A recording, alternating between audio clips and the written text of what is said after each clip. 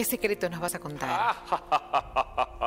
No, no es secreto, pero le vamos a contar algunas cosas que por ahí para algunos era secreto, no porque nadie lo quisiera contar, sino porque no lo sabían. Ah, vamos a ir a Buenos Aires, año 1890, Argentina, año 1890, y le vamos a contar cómo es que llegó el cine a la República Argentina, Ah, pero no como no en producción de películas, sino el cine cine, sentarnos a ver una película que era toda una novedad.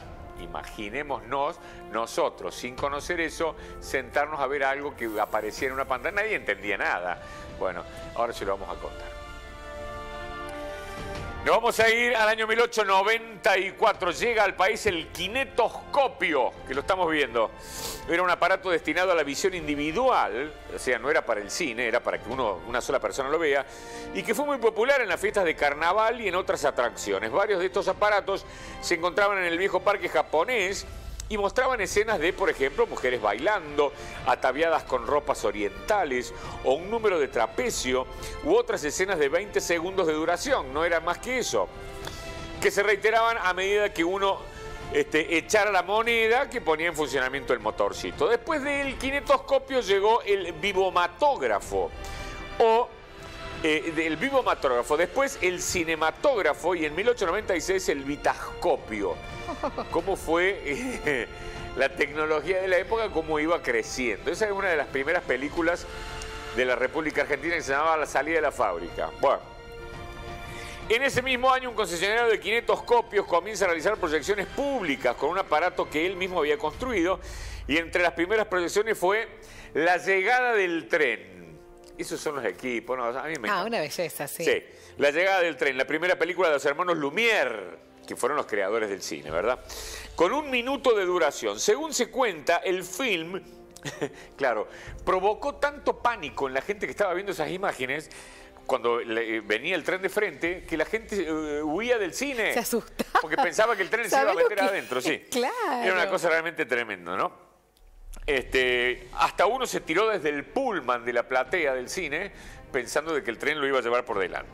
Pero fue el 18 de julio de 1896, solo seis meses después que la primera proyección mundial, que fue en Francia por los hermanos Lumière, y a iniciativa de un grupo de entusiastas empresarios de Buenos Aires, se proyectaron por primera vez los cortos de los hermanos Luis y Auguste Lumière. Ahí está, esa es la del tren, ¿ve?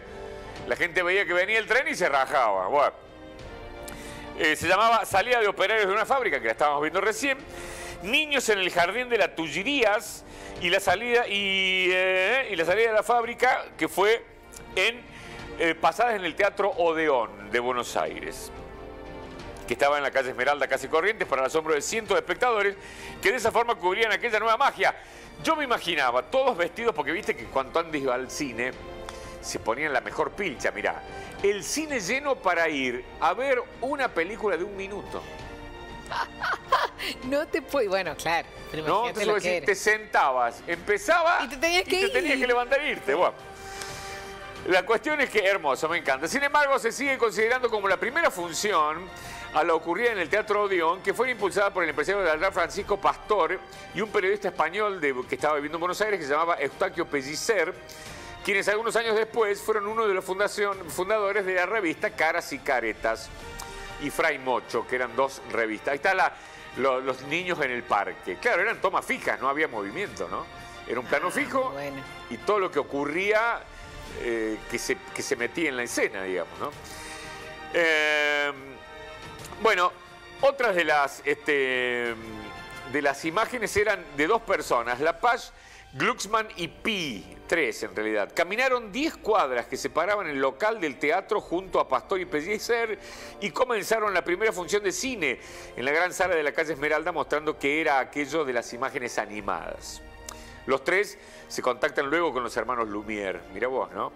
Para la compra de sus aparatos, pero las gestiones no prosperaron ya que los Lumière solo pensaban en rentar sus equipos para registrar imágenes, por lo que deciden importar un cronofotógrafo, el G de Gaumont Demny, me encanta, y un cinematógrafo Faté, eran las marcas, ¿no? De los hermanos Paté con los que nacería finalmente el cine argentino. El 25 de octubre del año 1900, redondo, con el registro de la visita del presidente de la República Federativa del Brasil, doctor Manuel Ferraz Campos Sales, al presidente de la República Argentina, Julio Roca, es la primera, este, la primera, eh, ¿cómo se llama? Película presentada en un cine. Me encanta. Ah, ese acontecimiento de ir a ver un minutito ese cine en la Increíble, ¿no? pantalla gigante. Qué increíble. Bueno, pero claro, imagínate, Sí. ¿cómo habrá sido el impacto que la gente se tiraba? de- Ahora, imagínate que nos siguen cantando y nos seguimos sorprendiendo cuando Lógico. vemos 3D y todas esas cosas. Imagínate en ese momento Hermoso, algo tan distinto. Gracias. Nos vemos.